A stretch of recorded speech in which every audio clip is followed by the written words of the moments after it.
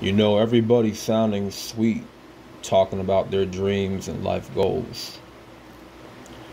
But are you willing to lose and taste failure first? Are you willing to sacrifice your cheap, quick fixes? Are you willing to endure internal suffering? Are you willing to fight through your darkest hour with no support?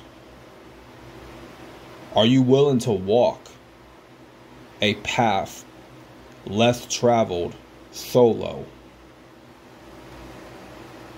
Are you willing to put in the hard work consistently every day to see a long term reward?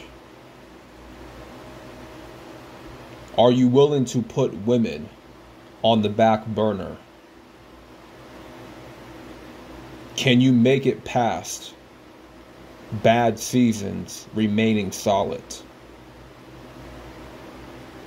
Can you put your emotions aside?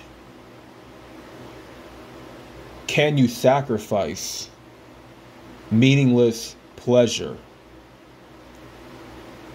Are you ready to fight through the growing pains?